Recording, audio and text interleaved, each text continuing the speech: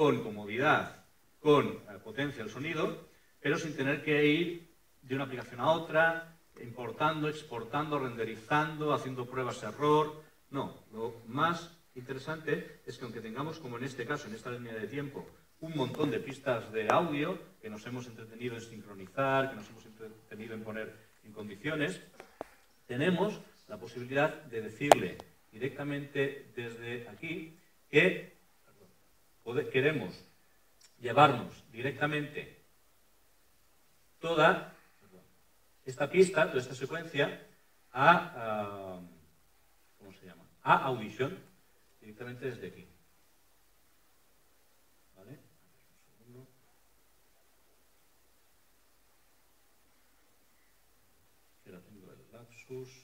Esto es para exportar directamente el fichero. Podemos fichar, podemos, perdón, eh, eh, exportar únicamente un fichero o exportar la secuencia entera. Que no me cabe entero el menú, ahí abajo. Bueno, lo tiene que poner al final del todo, para darle más emoción al asunto, ahí lo tenemos. Como os digo, podría exportar el clip entero o una secuencia. Si exporto la secuencia, entonces tengo varias opciones y lo que acaba exportando Premiere es un fichero XML que informa de la estructura de todas las pistas de audio que también exporta por separado. Incluyendo también la información de marcadores, de keyframes, etc. Muy bien. Simplemente escojo la carpeta, hago clic en OK y ya está.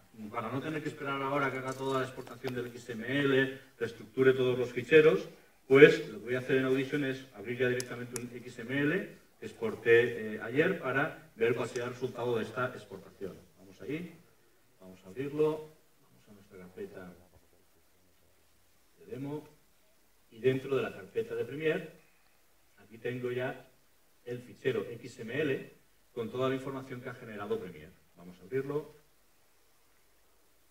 Y fijaos cómo lo que hace Audition es reconstruir toda la estructura de ficheros de audio, incluso la pista de vídeo también, por si queremos aquí hacer la sincronización viendo también el contenido de la pista de vídeo, también lo podemos hacer. Y lo interesante es que, imaginaos que aquí yo ya hago todo el trabajo de audio, lo dejo perfecto para que desde aquí yo pueda llevarme no otra vez cada pista por separado, sino ya toda la pista unificada con sus efectos, sus arreglos, lo que sea. Bien, pues en Premiere voy a seleccionar aquí eh, la secuencia donde quiero recoger todo el trabajo ese que he hecho con Audition. Aquí tendrías únicamente la pista de, vídeo, fijaos, aquí no hay pista de audio ninguna. Y en Audition voy a decirle desde este menú multitrack que quiero exportar todo este conjunto a Adobe Premiere Pro. ¿Vale? Lo puedo exportar tal cual está, eh, pues pista por pista, o le digo que quiero exportarlo como un fichero estéreo solitario, pero podría exportarlo como un fichero mono, o lo más interesante, podría exportarlo también como un fichero Dolby 5.1, que también es posible trabajar con él dentro de Audition. Vamos a exportarlo. Fijaos cómo también esta, esta tarea la hace en background como el resto. Fijaos cómo él solo se encarga de ir a Premiere de nuevo y decirnos dónde queremos colocarlo, en una nueva pista de audio o en cualquier pista de audio que ya tuviéramos preparada el efecto. Okay. Y ya tengo ahí todo el trabajo, con todo el sonido ya totalmente editado dentro de mi pista de vídeo. Podría todavía añadir algunas uh, opciones más, algunas cosas más. Por ejemplo, una de las cosas que puedo hacer en la secuencia es eh, trabajar con ficheros de subtítulos típicas leyendas salen abajo. Puedo añadir, no puedo crear los subtítulos directamente en Premiere, pero sí puedo pues, añadir un fichero de subtítulos editado en cualquier aplicación que me permita editar este tipo de ficheros específicos de subtítulos. Por ejemplo, aquí tengo, en mi carpeta,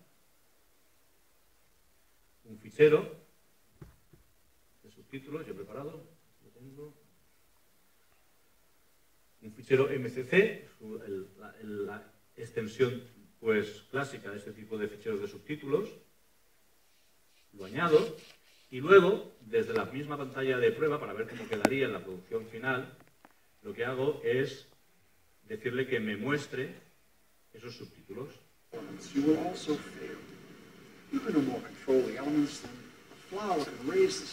Voy a hacer un poco más grande para que podáis darlos un poco mejor.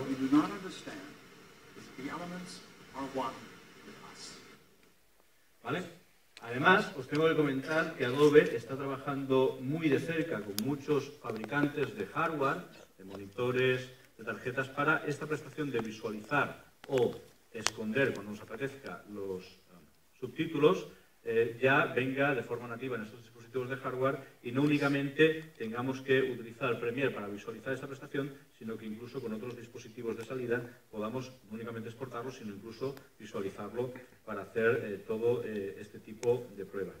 ¿vale? Muy bien.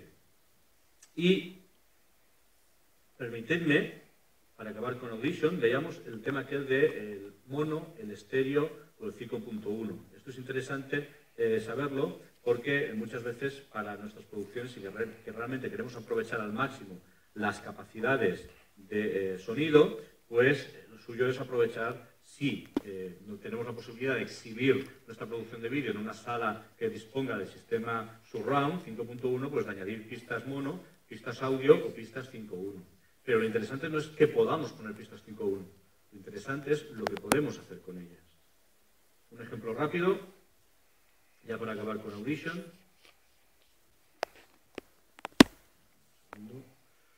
En el que vais a ver cómo podemos aprovechar al máximo las capacidades del 5.1 para crear esta atmósfera sonora. ¿no?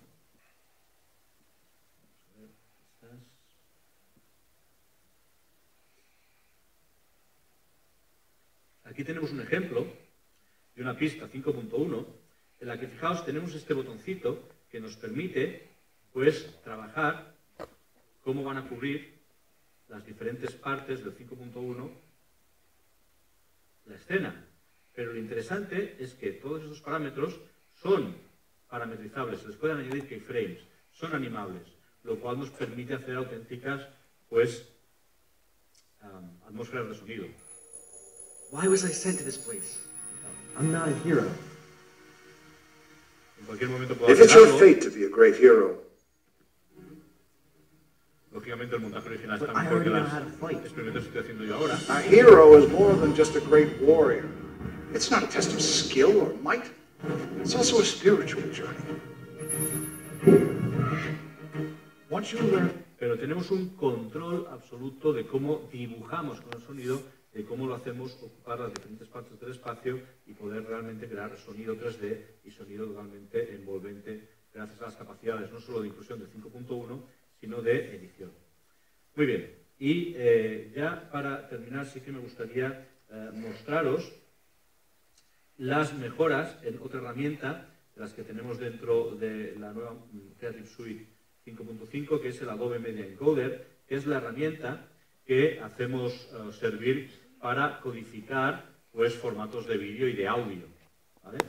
La ventaja que tenemos en 5.5 es que, eh, aparte de poder, por supuesto, como ya os podéis imaginar, arrastrar directamente secuencias de Premiere desde la propia línea de tiempo, es decir, para facilitar todavía más el flujo de trabajo, yo podría coger secuencia, arrastrarla aquí y, pues, una o varias, hacer que eh, Adobe Media Encoder las procese en el formato que aquí nosotros escojamos de todos los que tenemos para, para escoger incluyendo pues H264 para HTML5, Flash Video, eh, pues MP4 para cine en alta definición, incluso una película P2 de Panasonic.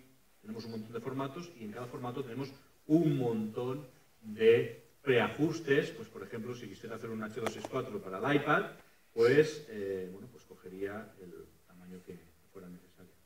¿Vale? Aquí nos muestra cómo se está pues codificando ese fichero. Y otra de las novedades de la 5.5 es que yo puedo crear carpetas de observación. Si dentro de mi carpeta de documentos, por ejemplo, voy a una carpeta, vamos a hacerlo incluso así, que se llame InVideo o el nombre que quiera darle, pues cualquier fichero de vídeo que incluya dentro de esa carpeta,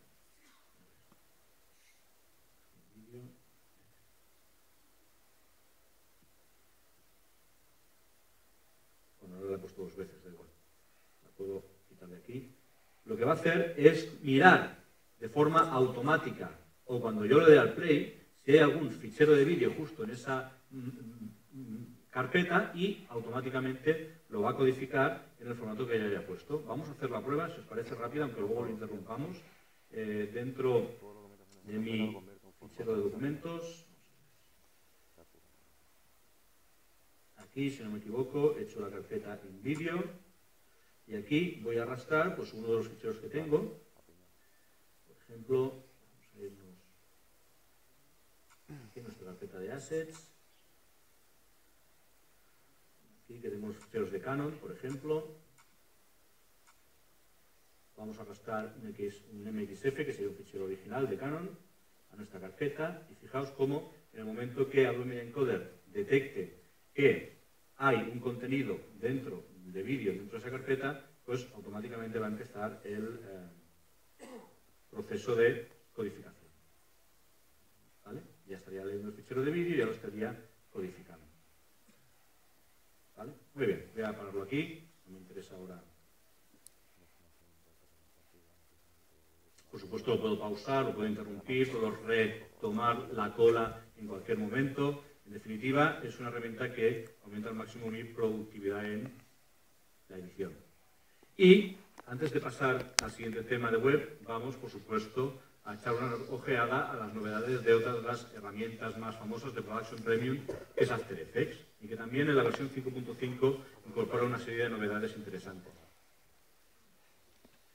La primera que vamos a ver es el estabilizador del movimiento.